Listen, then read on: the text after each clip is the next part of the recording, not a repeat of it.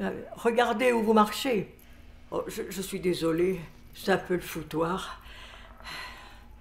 Bah, c'est le problème de l'archivage. Dès qu'on perd le fil, on est submergé. Tous ces fils, je les ai glanés un peu partout. C'est ceux dont plus personne ne veut. Les inexploitables, comme on dit.